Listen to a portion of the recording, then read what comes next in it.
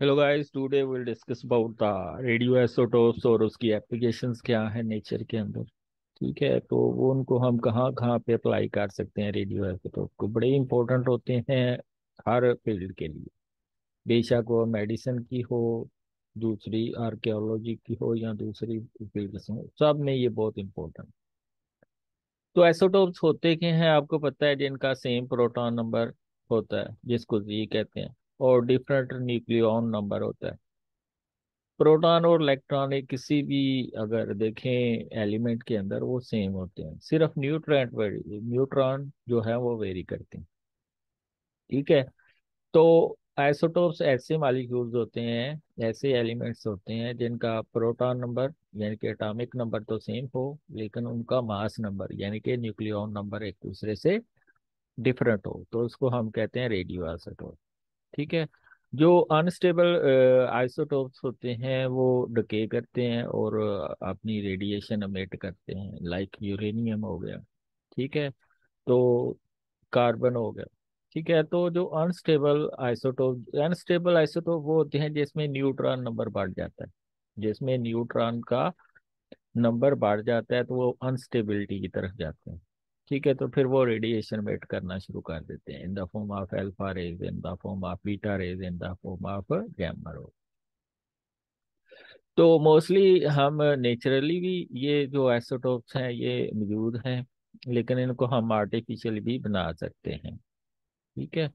तो ये साइंस के अंदर इनका बहुत ज़्यादा रोल होता है, ये जो रेडियो आइसोटोप्स होते हैं। ठीक है?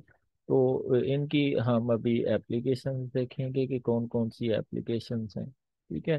प्रॉपर्टीज़ क्या है? They emit radio active radiation, which have different penetration ability with materials of different thickness and density जितनी इंटेंस होगी, उतनी उसकी जो है एबिलिटी ज़्यादा होगी, उसके अंदर पेनिट्रेशन पावर उतनी ही ज़्यादा होगी। तो ये जो पेनिट्रेशन है, ये क्या करती है? ये सेल्स को किल कर देती है। म्यूटेशन काज करती है सेल के अंदर। आयोनाइज मालिक्यूल मसलन अगर किसी प्लांट के अंदर हमने म्यूटेशन लेके आनी होती है तो वहाँ पे हम रेडियो एसोटोप यूज़ कर सकते हैं। वहाँ पे हम क्या कर यूज़ कर सकते हैं? रेडियो एसोटोप अगर वो अच्छी म्यूटेशन हुई तो प्लांट की यील्ड बढ़ जाएगी, और अगर बैड म्यूटेशन हुई तो वो कम हो जाएगी। Have the same chemical properties as non-radioactive isotopes of the same element. Its activity decreases with the time. क्योंकि उसमें डिके होता रहता है तो एक्टिविटी डिक्रीज होती है विद रिस्पेक्ट टू टाइम तो अब हम आर्टिफिशियल कौन से वे हैं जिसमें ये हम आइसोटोप्स बना सकते हैं रेडियो आइसोटोप्स जो रेडिएशन वेट करते हैं तो सबसे पहली एग्जांपल है, अगर आप बोरोन के ऊपर एक प्रोटॉन को आप बम्बार्ड करें तो उससे बरेलियम प्रोड्यूस करता, होता है जो कि, और एक हीलियम प्रोड्यूस होता है, ठीक है? तो जो हीलियम है और बरेलियम है बरेलियम इसमें एज ए रेडियो एसोटोप के तौर पर यूज़ होता है।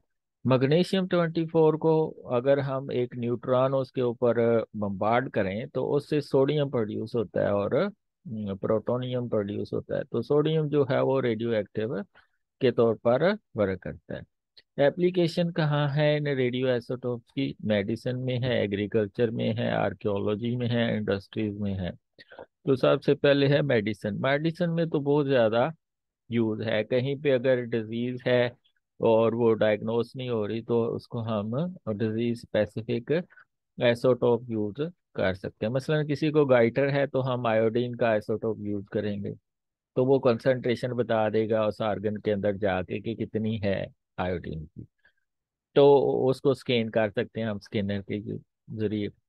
Users radiation to provide information about the function of the specific organ of a patient or to treat disease क्योंकि वो जो सी डिज़ीज़ होगी उसके लिहाज से हम रेडियो एसोटोप यूज़ करेंगे। तो जब हम पेशेंट को रेडियो एसोटोप देते हैं the radiation emitted enable the organ to be easily imaged by imaging equipment कहाँ पे जो आपका रेडियो एक्टिव गया और जाके लग गया तो वहाँ पे रेडिएशन मेट होंगी तो उसको हम डिटेक्ट कर लेंगे। Disorders can be then detected and treated tracers thyroid gland का मैंने बताया कि जो पच्चीस परसेंट हमारी आयोडीन होती है, वो थायराइड ग्लैंड के अंदर होती है। ठीक है? 25% percent of iodine present in the gland amount of iodine entering the gland can be seen by detecting the radiation emitted from the radio active iodine अगर वो ज़्यादा आयोडीन ले रहा है तो उसका मतलब है वहाँ पे आयोडीन की कमी है।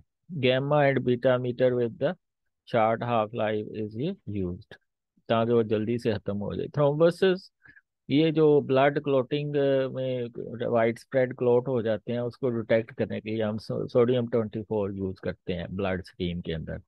To detect the position of blood clots and thrombosis in the blood vessels brain tumour को भी चेक करने के लिए हम फास्फोरस थर्टी टू यूज़ करते हैं।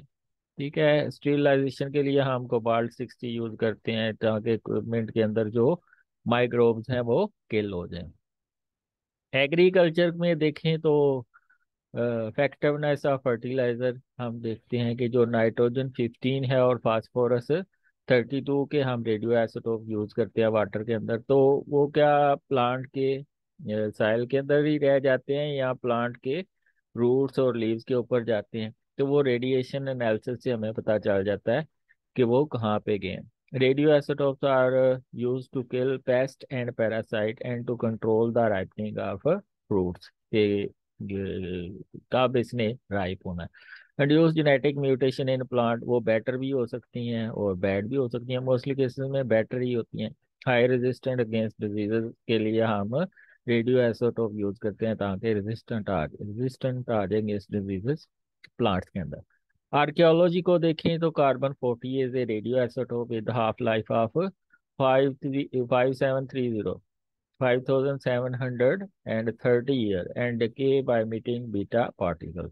तो जितना टाइम ज़्यादा होगा, उतना ज़्यादा डके हो गया होगा कार्बन फोर्टी का ऑर्गेनिज्म के अंदर और वो उसकी फिर हाफ़ लाइफ बता देता है। Living animals and plant have known proportion of carbon forty in their tissues which remain constant and decreases when they die. The amount of carbon-14 left in a decaying plant or animal can be used to tell its age. तो ये जितनी ज़्यादा as होगी होगी उतना ज़्यादा decay हो चुका होगा कार्बन फोर्टीन का इंडस्ट्रीज़ में बहुत ज़्यादा यूज़ है the alpha particle from the polonium 210 is used to neutralize static charge in photographic plates and other materials. तो जो पोलोनियम टू टू टेन है, वो, उससे जो अल्फ़ा पार्टिकल्स निकलते हैं, वो फोटोग्राफिक प्लेट को न्यूट्रलाइज करने के लिए यूज़ होते हैं। Water can be made radio active by dissolving some radio active salt which contain sodium 24 beta particle immediate are detected by Geiger Muller counter tube gamma rays can be used to penetrate the deep into the welding to detect faults. तो welding में अगर faults आ गए हैं, cracks रह गए हैं तो उसके लिए हम गैमा रेस यूज़ करते हैं। अंडरग्राउंड पाइप्स अगर लीक हो रहे हैं तो उसको देखने के लिए हम क्या यूज़ करते हैं? Tracer will be added to the liquid in the pipe तो जहाँ से लीकेज होगी, वहाँ पे रेडिएशन ज़्यादा निकल रही होंगी, क्योंकि वो ज़्यादा अकोमलेट करता है वाटर को। तो वहाँ पे रेडिएशन भी ज़्यादा होंगी। The account rate will increase as there is large amount of water तो इसको हम गैमा काउंटर से डिटेक्ट कर लेते हैं। Thickness control the manufacturing of aluminium file ठीक है?